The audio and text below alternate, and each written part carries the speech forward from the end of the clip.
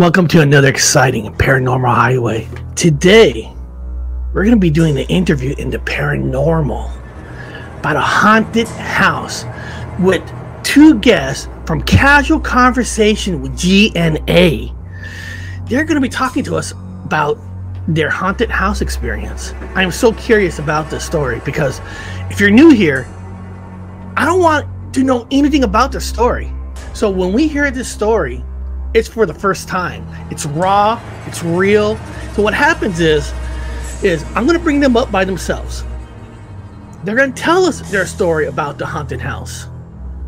I'll be taking notes, and then when they're done, myself and Anthony of, of Unidentified S4 is to come up and we're to ask them questions based on the story they just told us. Nothing else but that story. And then I'm to give you my final thoughts. Because I'm so curious. We have all lived in houses where we're wondering is it haunted? Is it not? Or when you hear haunted stories, what do we look for? What do we know? How do we know what's true and what's not? And what's involved in a haunted house? Is it a scary haunted house? Is it a friendly haunted house? These are the things that I want to know about. You know, maybe we'll get answers. Or maybe we'll just have to have the mystery continue. Because I believe there is life after death. So these stories, will that give me the answers that I'm looking for? I don't know. I truly don't know. But I'm so excited and curious to hear their story about the haunted house because I don't even know where we're going into the story. Is it scary or not? I don't know. That's what's exciting about this.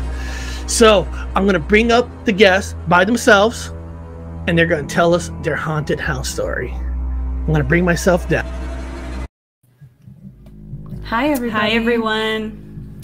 Okay, so we're going to start sharing our story. Um, it takes us back years. Um, mm-hmm. She, how old were you? Um, when the initial we, I was I think, a toddler. Yeah, we moved into this house when she was a toddler. I remember I was like, I want to say maybe like eight years old. Um, so this house I think was built around the 1950s, and it was in LA. And um, at first, I think right after we moved in, we started having activity. Our family started having activity and they would talk about it and share it amongst themselves. They didn't want to scare us, so they wouldn't tell the kids about what was going mm-hmm. on. Um, but eventually, they got to the point where they um, we found out what was happening. Um, and it started with uh, shadows, right? We would have little shadows of like what I know about. It was a shadow of a child um, that they would see often. Um, so, Eileen, you want to share? Yeah. Um, so, I guess, you know, as a toddler, I would kind of like see things. So, some of the things I remember um, was me when I went into one of the bedrooms. I rem- I remember that I was scared and I didn't want to be there because I had seen a little boy that was in that room and he was I believe he was jumping on the bed. And he mm-hmm. was inviting me in. And I just you know slammed the door on him. And I don't I don't remember if it was my mom or my sisters who you know they just asked me like hey what's wrong? And I was like there's a boy in there and he's wanting me to play with him and I don't want to play with him. And you know they opened it. There was no one there right? Yeah and I was there when you said that. Um she just said I, we kind of brushed it off she said, Oh, there's a kid there and I don't want to play with him. And so we brushed it off. We were like, Oh, she's, we don't know what she's talking about. But then it kind of clicked and we're like, What? What did you say? And she said, There's a boy there. And we kind of opened the door and she pointed and there was nothing there. Um, but we would also sometimes catch her like talking to somebody. That's scary. yeah, it was scary. but, and but we just thought it was her imagination um you know like you know the age where you have imaginary friends? Yeah.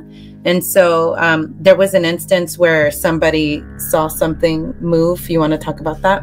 Where they saw something move. The vase? Oh yes yes i was gonna get to that yeah. So um you know i had my babysitter and well there was actually two of them so when they were there you know i was on i was playing on the ground. I was a toddler. So they said that they were chatting amongst each other and they just saw like one of our vases lift up in midair. Like literally like just in midair there was nothing under it.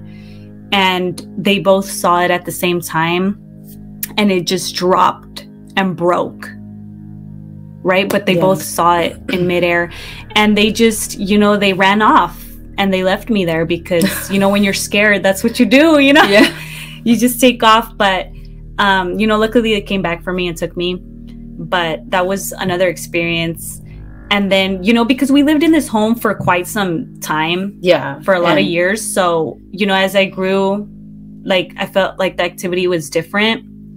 Um so when i was a little older i remember i was in the bathroom and i was trying to get out and someone was pulling the door so that i couldn't get out and i thought it was my sister and i i just said hey stop playing you know like i want to get out like i'm scared. And she wouldn't open the door you know so i i really just like pulled it to find that there was no one on the other side. And Yeah. and i looked around and there was there was no one. So that was mind boggling because it's like how do you make sense of that? You know the clearly there was someone doing this Yeah, and then and- you don't see anyone Yeah, and that's something too that um, I remember that you would be afraid of going into that bathroom, and you would be like, "I don't want to go there. Uh, I'm scared." And not only that, because that bathroom was kind of in a weird little area, um, and also there was like steps like to go into another bedroom Yeah. from there, and people would always get hurt on those steps. Yeah. And right in front of that bathroom, there was always like I got hurt there really bad. My mom, um, my dad, like everybody guess Um, Mhm. so and at that time they would always tell us too that they would hear like dishes somebody washing dishes in the middle of the night. They would hear like movement walking footsteps. Our older sister would actually hear people talking like little Mhm. kids. And she it- said I have like a story on that Okay, if you want to share it. Um, so yeah, my sister had the room closest to that bathroom and closest to the kitchen where all the you know commotion happens, and she said one night she heard a child laughing outside, and just she just kind of heard them like laughing and running, like you know giggling that stuff, and she thought it was me. She opened the door. It was dark. All the lights were off, and she just saw like a silhouette just to run past her run right past her and since this house was a duplex um the steps connected to the other home so that's like those steps is kind of where like that action would happen a lot so she said that she saw the silhouette run past her bedroom into the other home and she just heard them fall. And she thought it was me and she kept you know like saying hey eileen is that you? But she wouldn't get a response because that wasn't me because i was sleeping. Yeah. So that was strange. Yeah. And so um i feel like uh even like the neighbors would say things stories Yeah. about our house that um somebody had died there a child had died there and they buried it somewhere in the house or Mhm. outside. We they didn't we didn't believe it. My parents didn't believe it because they said you know like that's a big deal. Like Yeah, why would you a big accusation. Yeah and so they were for a long time they were like no this is not happening. Like it's not um real. You guys are just making things up. But you know in the neighborhood that we lived in there was a lot of crime. There was Yeah, a there lot of um pe- people would get killed out there um Mhm. you know gang related. And there was also there's always sirens. accidents. Yeah. And and you would think it's a little street. It wasn't like a Mhm. big It- yeah. road, but there was always like things happening in the corner of where we lived. Because we were like in a corner of two Yeah. And so there was always things happening and um my parents were just like, you know, it's just a bad neighborhood, you know, Yeah. we we need to eventually like try to find somewhere else to go. Um but I think that if we fast forward, um Mhm. the scariest thing that happened, I think, in that home um, was around the time when um, the chupacabra was trending big. Yeah, it was like a big thing in the media and the news. they would talk about this creature that looked like a dog, right? A mangy dog that was gl- that had glowing eyes, and he would um, suck the blood out of animals. And people would find animals with like perforations, right, on their Mhm. neck, and um, no no signs of blood. And so around that time, I remember one night, uh, my dad was hanging out with family. We were having like a get together, and they decided to Joke around. Play around, you know, talk about the chupacabra and just make fun of it. Like, and my dad decided to draw because my dad's an he's always been an artist. He's a very good drawer, and so he decided to draw it. And he drew this kind of like, what did it look like to you? Do you remember the picture? Mm, It was like an iguana, but it was like standing on like two legs and kind of like a little mini dinosaur. But it looked like creepy with like, and he had like a straw in its hand and blood leaking out of it. And he was passing it around the house, and his friends and our family were just laughing at it. And um, he put it on the fridge and he just left it there. and so I remember um, around that time, uh, we had bunnies, we had rabbits, Yeah. bunnies, we had um, chickens. Did we have a dog at that time? I don't think we had I a dog. think so. We didn't have a dog.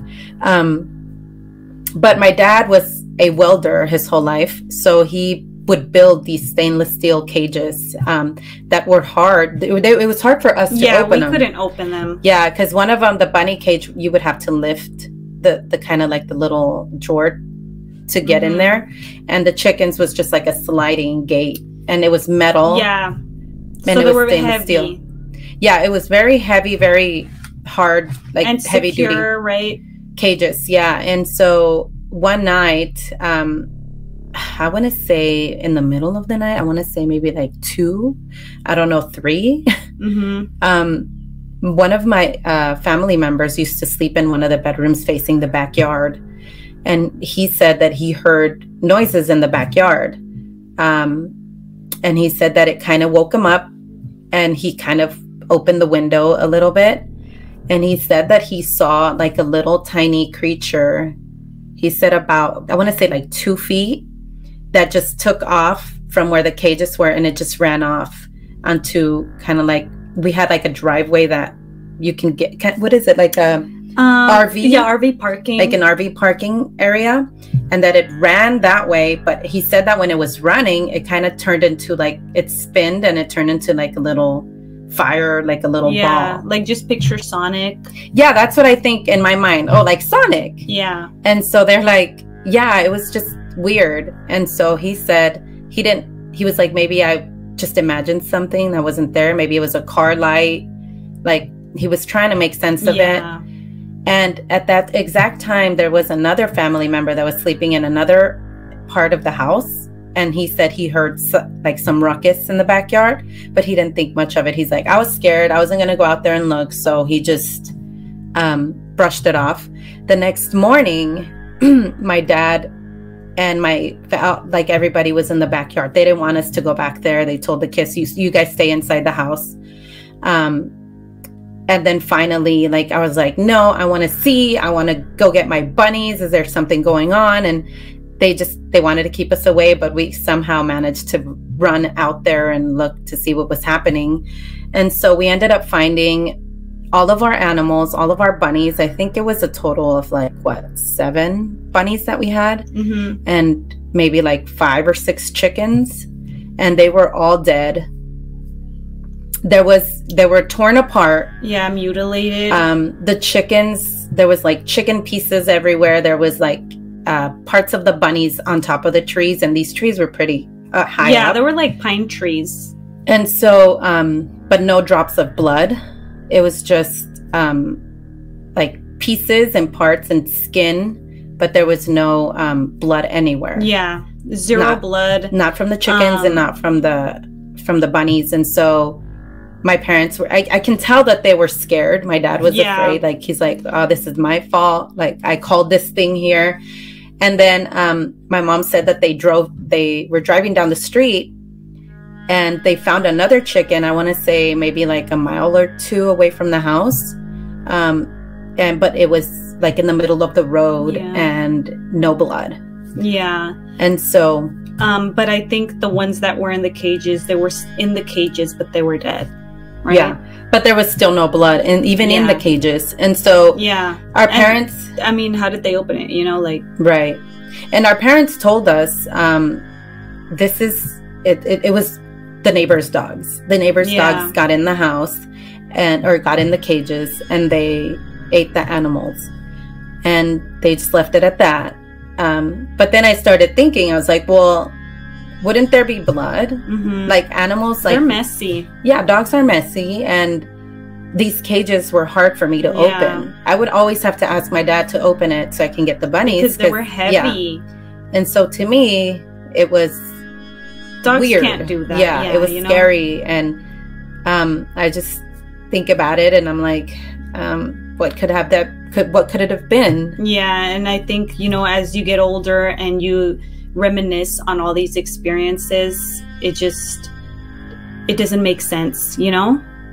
So I think that's what like and then they're memories that kind of just linger with you, you know, and you Mm-hmm. you just keep remembering them and then you try to make sense of them but they don't make sense.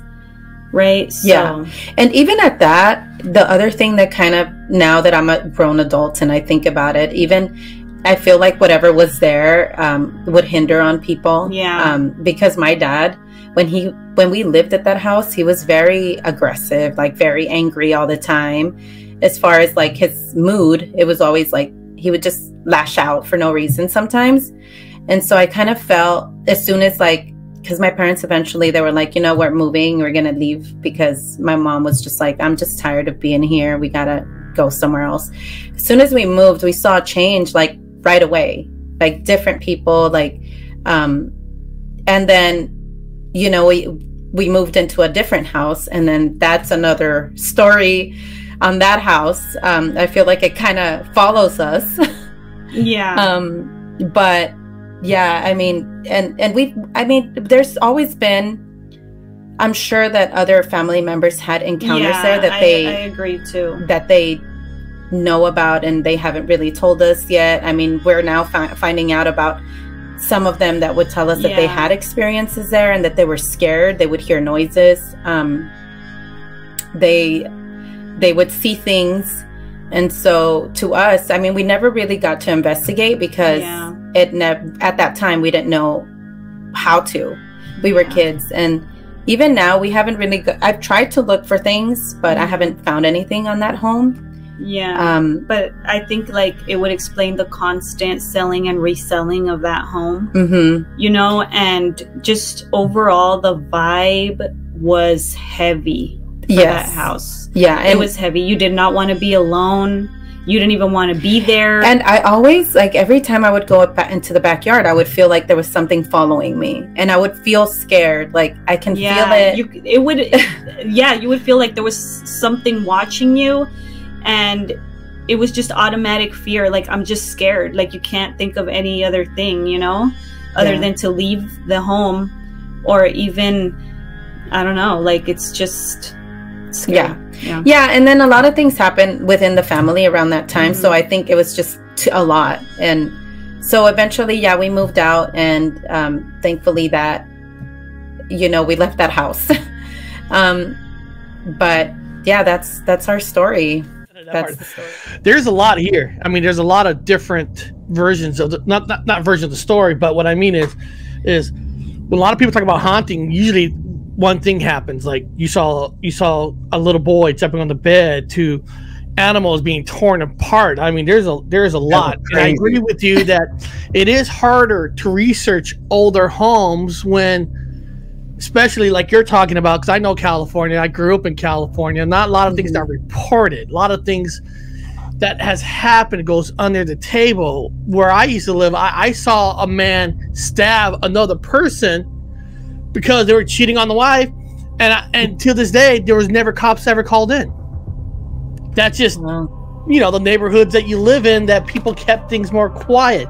So it would make sense that it's hard to try to find was there a boy murdered there was there a record of it yeah, because a lot of people don't understand is when you buy a house Like I bought a house that they actually made meth in the garage, and the neighbor was a cop.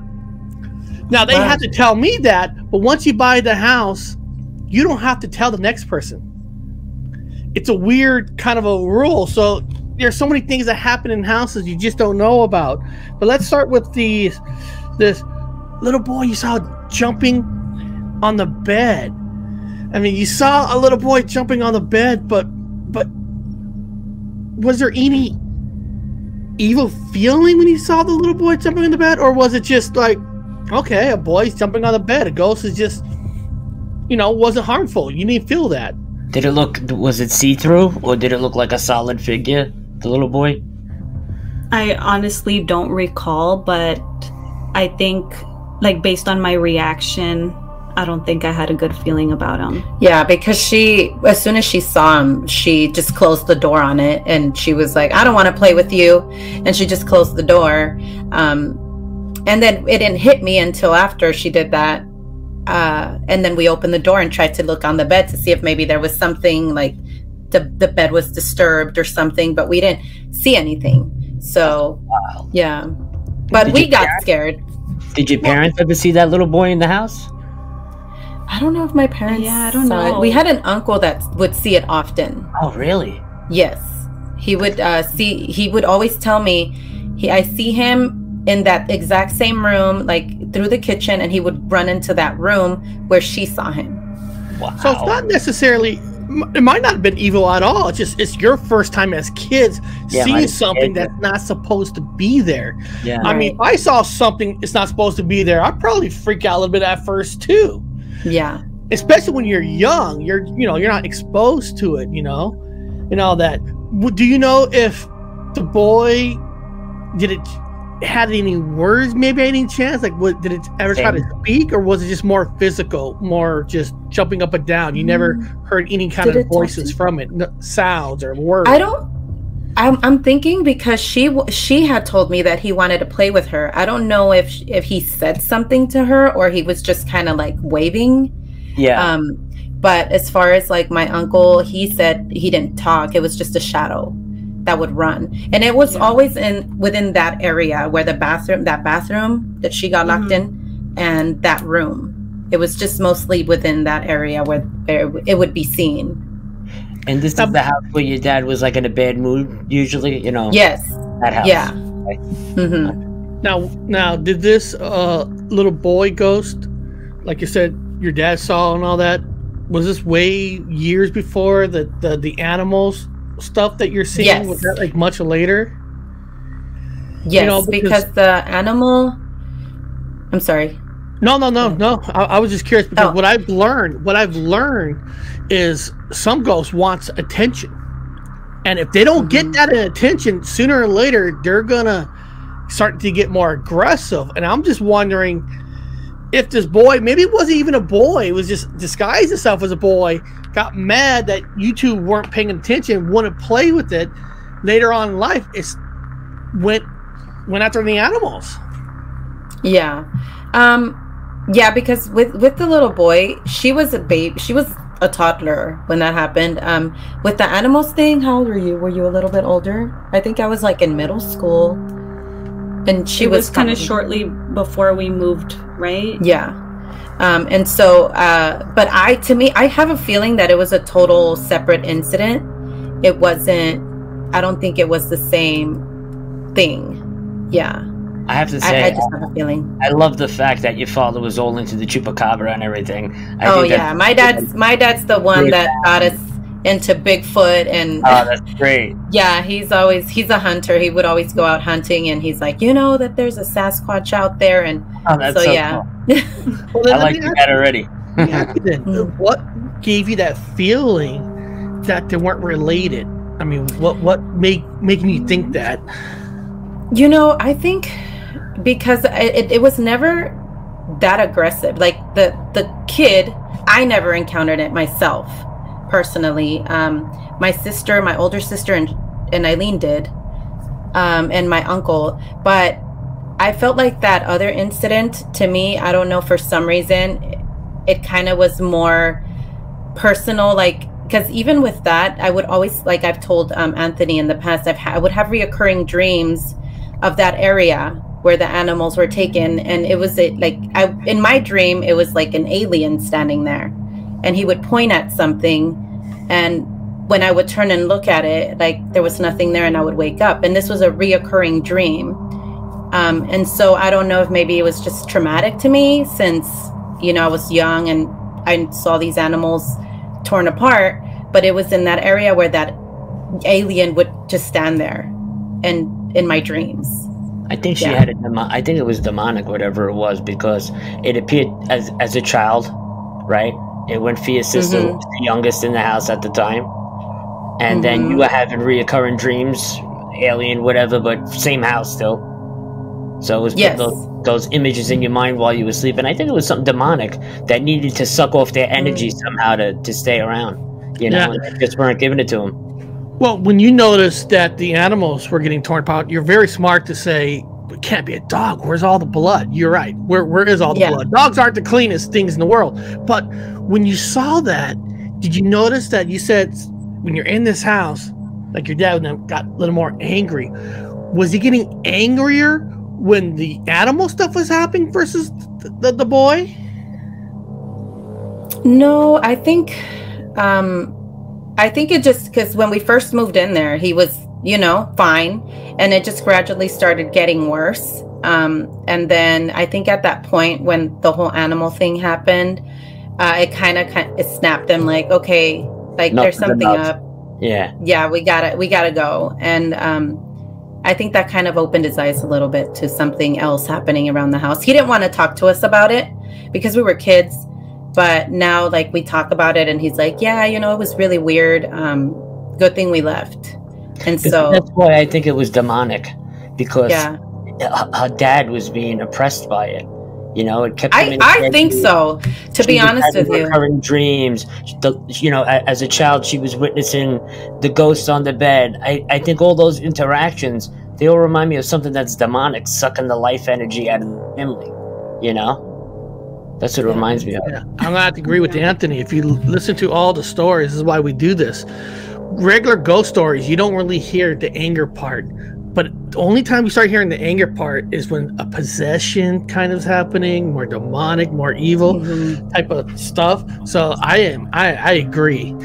Yeah, because now, like- first, first, Oh, sorry. Now you said something very interesting. You know, even when you left the house, when you move into other houses, I want to know between the other house you moved to and your house yet now, you think maybe this thing is following and it's not connected with that house? Hmm. I don't know cuz and that was the reason that was one of the things my mom said when we moved. She's like, "We're leaving that house. This house better not be haunted, right?" She's like, "I don't want to take nothing like we're good." And so when we bought this or she they bought this other house, we ended up finding out that there was a murder in that house. and it Um, was a very graphic, uh, very brutal murder.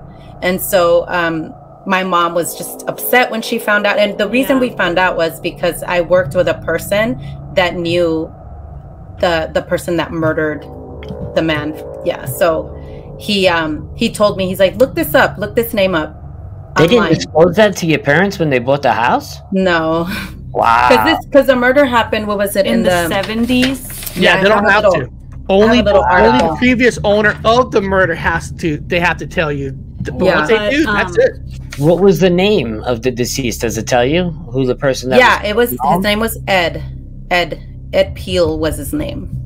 was? and he and he told me that he's like look up this name it happened in your house and so i was like no way i looked it up sure enough there was a picture of our house Oh and oh there was yellow tape around it and i showed it to my mom my mom was really upset. She's like i moved from one house to move into another house that has activity. She's like let's sell it. We put What it up for sale. Like, what did that feel like when you found out there was a murder in the house? it kind of you know what? My dad was like relieved because he was like no wonder there's stuff been happening to me. Because I- there ah. there was Kind of put two and two together there. yes. Yeah, But yeah. I there's one felt like thing I have not heard at all with all these places you've been to. I never I haven't heard you guys try to get a priest to bless No, we it did. or say Oh, We really? Yes, we So got a priest did, twice. okay. There we Yes. go. So you have tried to get the house blessed or Yes. saved or whatever. And Uh-huh. after okay, after the first time you had somebody bless their house, did it change? I think it, it helped. Yeah, Um, the activity diminished a bit, Okay. But then um, it did spike back up. Um, and at that moment, we found out about what had happened because I felt like they they would kind of see some activity and they didn't, you know, they would brush it off because they didn't know about what happened, right? So they didn't really. They're just So- like, oh, And and here's one of the the crazy things that we were. My dad was remodeling one of the rooms, Oh boy. and he took out the carpet, and there was a big red stain on the floor. what and happened? my dad- remodeled. Did activity pick up? I think so. I think that's when it started to pick up, and um, my dad was Oh, like, I was why? like, Why? I looked at it and I told him, Dad, what is that? And he's like, Oh, it, I think somebody dropped wine, and, and it was a lot Yeah. of wine it was a lot of wine, lot. and Yeah. um, he just he he's like, whatever. Because it was. But at that time, we didn't know that a murder had happened in the house. yeah we didn't know and and the thing was they had like the you know uh, just a carpet from the 2000s and when we removed that it had the original 1970s carpet which had the huge stain and when we removed that the whole cement area was stained Stained. yeah, Yeah, that's not wine. That was probably Yeah. Yeah. Well, what's it Yeah. like now? I mean, where are you living at now? Are you both living in the same house now, or you live separately? We live separate. She still lives in that house. Cause Okay. see, and that's the thing. When my mom found out that the house there was a murder, she tried to sell it, and for some reason she couldn't. We couldn't sell it. Like we wouldn't. We would get buyers, and then they would drop off for some reason. And so um, they just ended up keeping it. They're like, you know what, whatever. We're we're gonna get the priest to come in, bless the house, um, and then that kind of helped.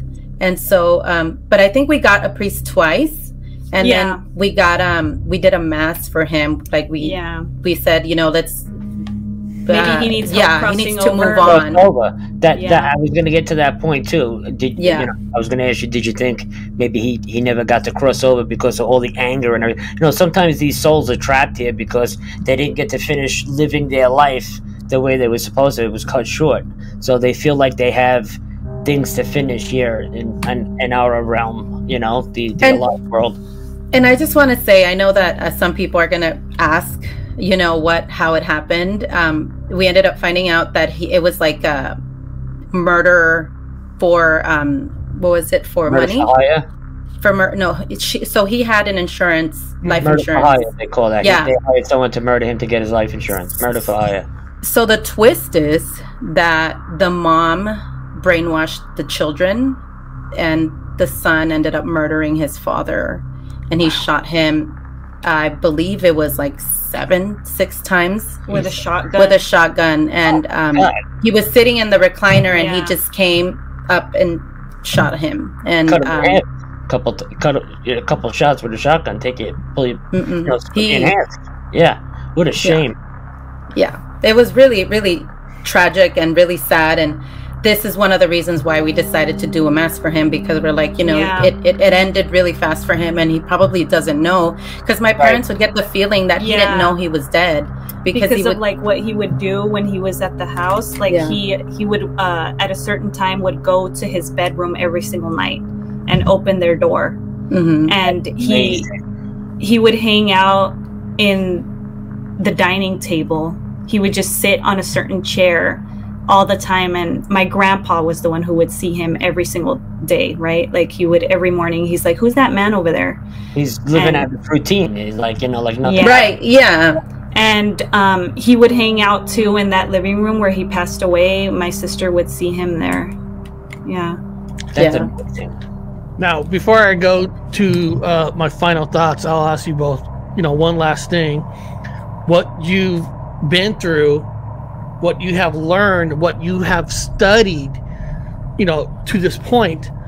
If somebody else is going through the same thing you guys gone through growing up and all that, what kind of advice or would you tell them what they should do, you know, with your experience that you know now? Um, move. Yeah. um, no, but I think I would tell somebody get a priest because that to us help. Yeah. Get some get some help, um, and make sure you're good spiritually. You know, protect yourself because you never know what it could be. Um, like like Eric said, it could be something evil. Um, but yeah, I, I would say that be spiritually ready because we're always in a spiritual war, right? And so we need to be ready for that, and we need to get help sometimes. And so, yeah, that would be I my agree. Yeah. that would I, be my. will make sure that everybody gets your phone number, your address. So when they ever can We don't do we don't no we don't do none of that. But you know, here's the advice. You know, you guys can start your own little Ghostbusters group, and Yeah, you you know, can have you can- Imagine. for your living room. Yeah, sure. I'll carry the know backpack. Well, I want to appreciate you both coming up here and, and telling us the story and all that because it, it you'd be surprised. It might help some people. You know, somebody Yeah. hear the same thing. You know, you might be the ones who trigger them to maybe get a priest to bless their house and all that. So, um, Anthony, before I do my final thoughts, you want you got any more questions you want to ask? I just wanted to give you one piece of advice that I learned that works.